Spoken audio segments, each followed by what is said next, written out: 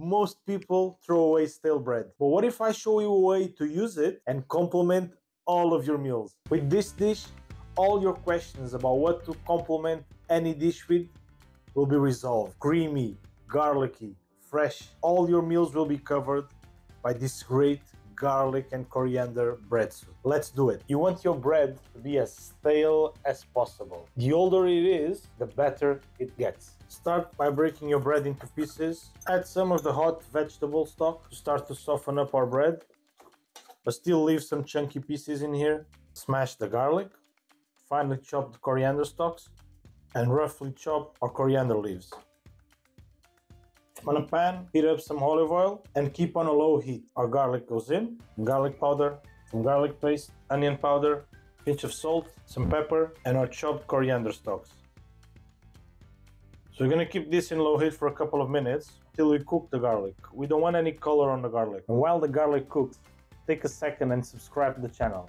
You'll make the food taste better. It's scientifically proven. Small pinch of sugar. Get our bread into the pan.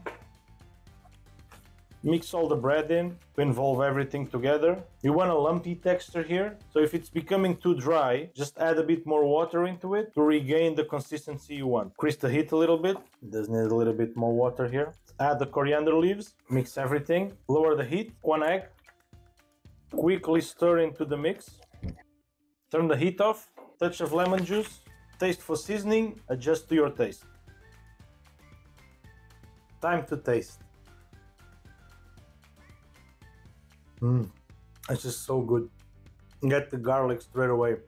Punches you in the face. And so fresh. All the juices we got from the coriander stalks makes this so, so fresh. It's absolutely perfect. But it's so well balanced. The touch of sugar we put in there helps balance the dish out. Doesn't get too strong on one side of the spectrum. It's just, I still have all that flavor running through my mouth. Can eat this with some grilled fish, eat this with some steak. Maybe maybe don't eat it with your dessert, but besides that, it's perfect for any dish. And let me know in the comments if you had any problem doing this dish. It's super easy, super simple. You cannot go wrong here. And you just finished eating this and you're thinking, Bruno, what a brilliant idea you gave me to do this side dish, to use my stale bread. But now you look into your counter and there's more stale bread there.